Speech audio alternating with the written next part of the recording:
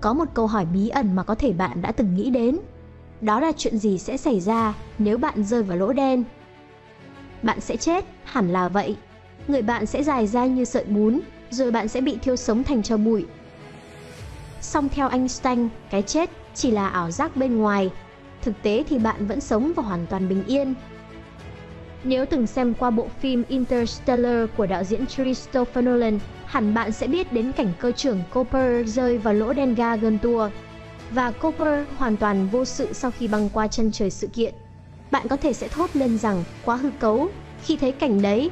Song theo Einstein thì chuyện trên là có thể. Nhưng trước khi đi vào vấn đề chính, bạn có thể biết Interstellar được dựng lên dựa trên những hiểu biết khoa học mới nhất của nhân loại. Phần lớn những cảnh trong bộ phim viễn tưởng này được Nolan vẽ lên nhờ sự tư vấn của các nhà vật lý. Ví dụ, hình ảnh của lỗ đen trong bộ phim không phải là cái lỗ như bạn vẫn thấy trong các ảnh mà chúng ta sắp xem, mà nó là một khối cầu. Tại sao nó lại là khối cầu? Vì lỗ đen là điểm mà không thời gian sụp đổ thành một điểm duy nhất và không gian của chúng ta có 3 chiều nên sự sụp đổ của chúng co lại thành một điểm có dạng cầu.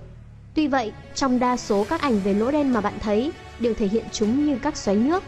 Lý do là vì không gian trong chúng được thể hiện ở dạng hai chiều và mô tả như vậy cho người xem dễ hình dung về bản chất của lỗ đen, những điểm hút mà ngay cả ánh sáng cũng không thoát ra nổi, giống như những con tàu vô tình đi vào các xoáy nước và chìm nhìn trong đấy.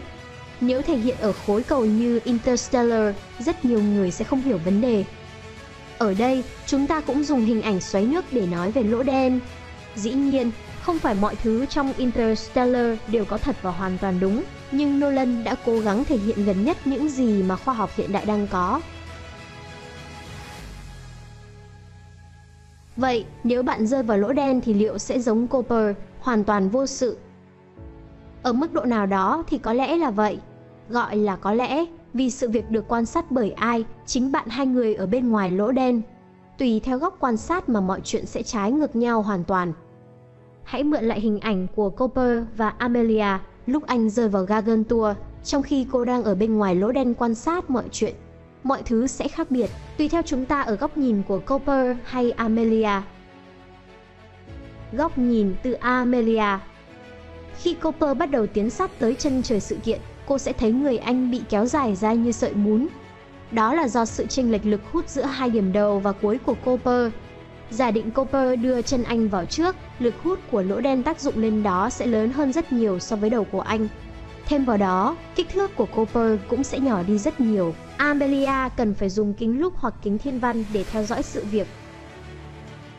Nhưng vấn đề chưa hết, Amelia sẽ cảm thấy những gì cô nhìn được giống như một bộ phim chiếu chậm. Hình ảnh của Cooper đến được với cô sẽ chậm chạp hơn, cũng chính là lực hấp dẫn đã gây ra tình trạng trên. Lỗ đen là vật thể đặc biệt tới nỗi, ánh sáng cũng không thoát ra khỏi nó nếu chúng vô tình đi ngang qua chân trời sự kiện. Song ngay cả khi các photon không bị lỗ đen nuốt chửng, tốc độ của chúng cũng giảm đi đáng kể. Đặc biệt khi chúng càng ở gần chân trời sự kiện. Dĩ nhiên để giảm từ 300.000 km trên giây về không sẽ là một quá trình diễn ra từ từ. Giả định nếu Cooper có liên lạc với Amelia qua sóng radio, một loại bức xạ điện từ, tốc độ truyền dẫn cũng sẽ giảm từ từ khi anh càng tiến sát chân trời sự kiện hơn. Cô sẽ nhận được những tín hiệu bị kéo dài và chậm dần. Và tại thời điểm Cooper biến mất sau chân trời sự kiện, Amelia sẽ không nhận được bất kỳ tín hiệu nào của anh nữa. Tuy vậy, trước đó, trước thời điểm mà Cooper lọt qua chân trời sự kiện, cô sẽ thấy anh bị đốt thành cho bởi bức xạ Hawking. Theo Hawking, như là sự cân bằng giữa môi trường có mật độ vật chất lớn nhất vũ trụ với chân không không có vật chất ở xung quanh đó, lỗ đen sẽ bị mất dần đi khối lượng của nó, dưới dạng bức xạ phát ra ở chân trời sự kiện. Và Cooper trong ánh mắt của Amelia chết không kịp ngáp bởi lượng bức xạ khổng lồ này. Góc nhìn từ Cooper Tất cả nhìn có vẻ rất tệ từ phía Amelia ở bên ngoài lỗ đen. Song từ chính Cooper, mọi thứ ngược lại hoàn toàn. Hoặc theo Albert Einstein, cha đẻ thuyết tương đối, thì Cooper sẽ hoàn toàn bình an, anh không bị kéo dài như sợi bún, cũng chẳng bị bức xạ đốt thành cho bụi. Vấn đề duy nhất của Cooper là sau khi lọt qua chân trời sự kiện, anh sẽ chẳng thể liên lạc với Amelia được nữa. Thế giới dường như tách làm hai sau khi Cooper bước qua chân trời sự kiện đó là thế giới của anh và của Amelia.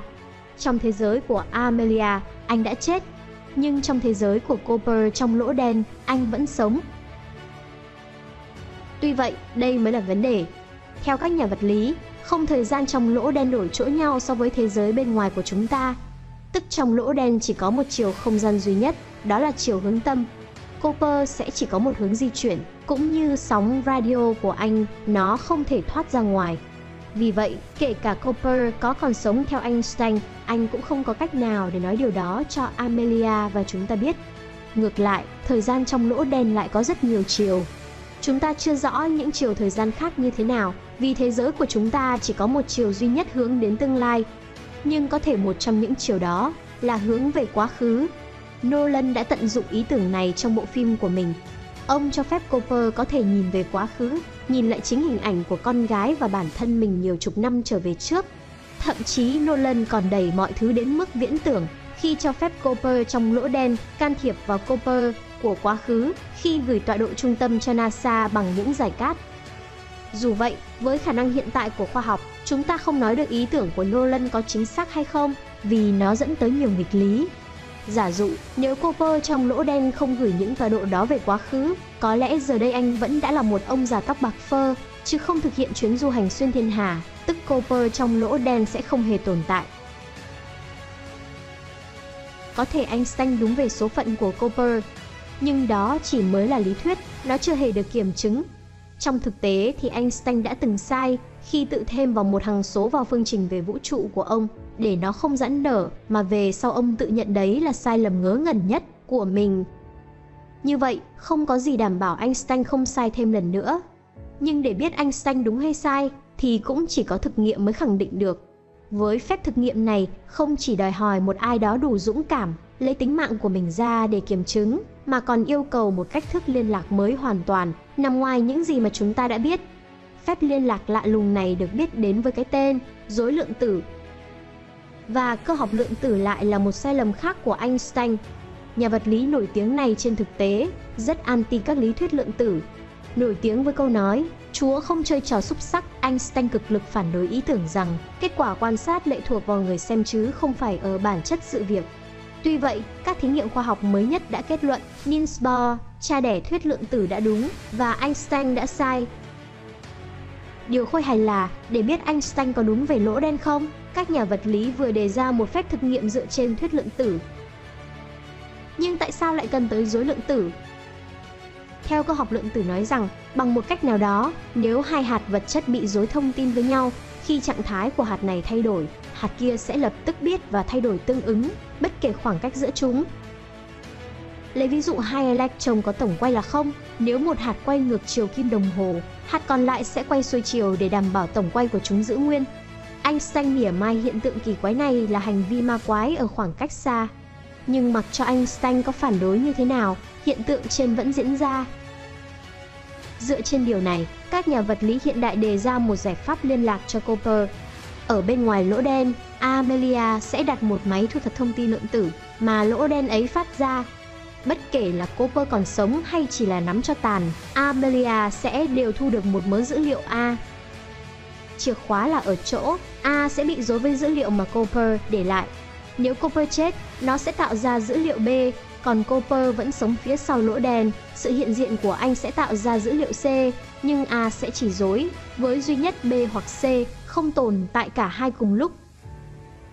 Khi Amelia giải mã xong gói dữ liệu A, chúng ta sẽ biết thực sự Cooper có còn sống hay không. Vấn đề duy nhất ở đây, theo lo ngại của các nhà khoa học, liệu Amelia có giải mã được gói dữ liệu A hay không?